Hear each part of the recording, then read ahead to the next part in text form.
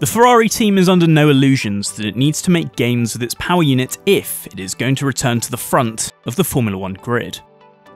After yet another second place silver trophy in 2019, its fourth in the seven years of F1 Hybrids era, Ferrari's 2020 campaign was derailed by a combination of a car that was a bit too draggy and an engine that was less powerful than the 2019 version.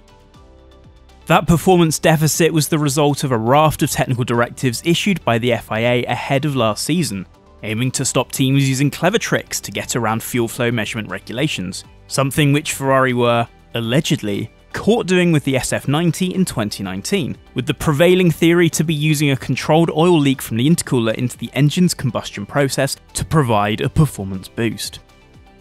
The extent of Ferrari's engine struggles came to light in 2020 pre-season testing, but any hopes of introducing major upgrades to the power unit during the campaign were thwarted by development freeze introduced in response to the COVID 19 pandemic. It meant that Ferrari had to live through the entire season with the same inadequate power unit, with changes only possible over the winter between the 2020 and 2021 seasons.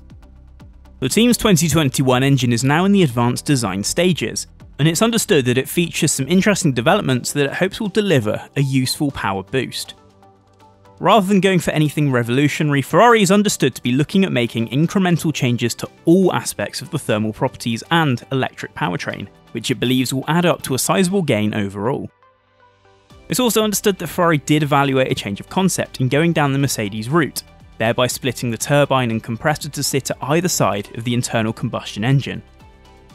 While the evaluation of that idea is continuing under a project group led by Wolf Zimmermann, who has been commissioned to look at innovative longer term solutions with the Austrian based AVL, for now the two turbo components will remain where they have been previously. Instead, the key change that Ferrari's engine chief Enrico Gualtieri will introduce is the debut of a super fast cylinder head, which had originally been anticipated for introduction in 2022. The new design will help achieve greater fuel atomization and a higher pressure in the combustion chamber, as teams try to get closer to the 500 bar limit laid down by the regulations.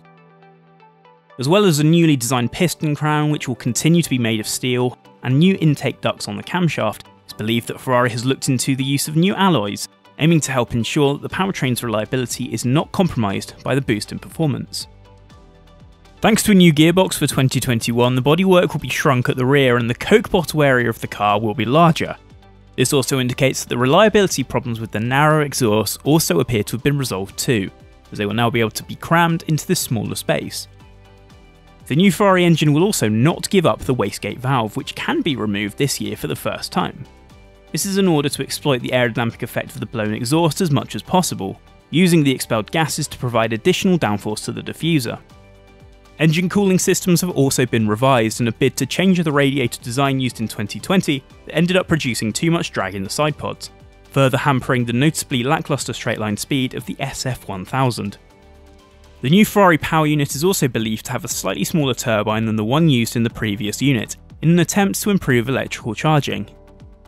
The idea is to have a much more efficient energy recovery system so that the delivery of the MGUK's approximate 160 horsepower can last longer throughout the lap, an important factor in trying to reduce the overall deficit to Mercedes and their superior powertrain.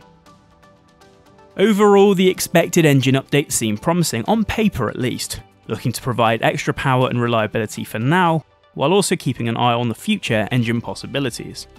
But on the other hand, Ferrari's rivals might be making similar gains themselves over the winter break, which could leave Ferrari's net performance gains looking less impressive in comparison. But as always in Formula 1, the proof is in the pudding, and hopefully we'll get a better idea at pre season testing in Bahrain whether the latest machinery has what it takes to put Ferrari back on the podium in 2021.